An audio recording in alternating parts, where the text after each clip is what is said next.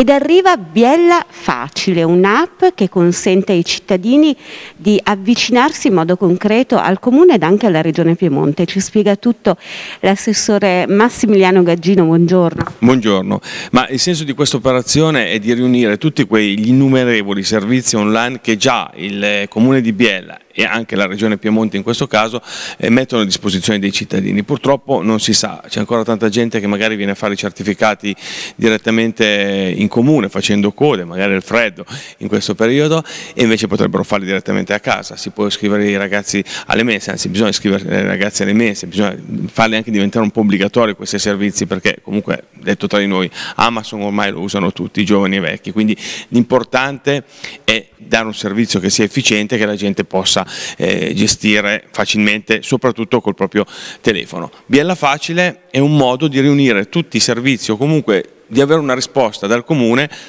solo praticamente avendolo in mano con un'app. Ci saranno degli sviluppi, ma comunque questo è il principio fondamentale. Allora, è possibile ad esempio, non lo so, scaricare un'autocertificazione, perché ormai sappiamo che è la modalità con cui insomma, si autodichiarano eh, moltissimi dati sensibili e come si scarica molto facilmente? Assolutamente, il principio primo e unico, e io ho cercato di mantenerlo, è quello dello SPID, questa identità digitale. Noi dovremmo, dobbiamo andare avanti con lo SPID, lo, lo, lo Stato lo richiede richiede, quindi bisogna che la gente si metta nell'ottica che prima di entrare in un'app bisogna spiddarsi. Spiddarsi cosa vuol dire? Consegnare la propria carta d'identità all'app e dire sono io, sono Massimiliano Gaggino. A questo punto una volta entrato noi avremo una serie di servizi, tutto quello che il comune può dare online viene dato, quindi ogni volta che viene dato all'interno dell'app, viene linkato all'interno dell'app, quindi ogni volta che noi svilupperemo un nuovo servizio in quell'app ci sarà.